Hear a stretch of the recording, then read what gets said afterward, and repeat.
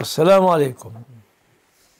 السلام عليكم ورحمة الله وبركاته. عليكم السلام ورحمة الله وبركاته. كيف حال فضيلتك يا شيخنا؟ بارك الله فيك. وفيك إنه أحبك في الله والله. أحبك الله الذي أحببتنا له. بعد إذن فضيلتك يا شيخنا عندي سؤال. سل دلوقتي أنا آه، عايش في في مدينة يعني في مكان من أجل الجماعة يعني بعيد عن عن عن المنزل. آه. وآخذ مصروف من والدي يعني مثلا آخذ مثلا منه ألف مثلا وعندما أنتهي من من المصاريف يعني أطلب منه مرة إمدادات يعني وهكذا يعني. فأنا أجعل أخصص مثلا 100 جنيه مثلا من هذه الألف آه، أحوشها من أجل شراء كتب لطلب العلم يعني العلم الشرعي.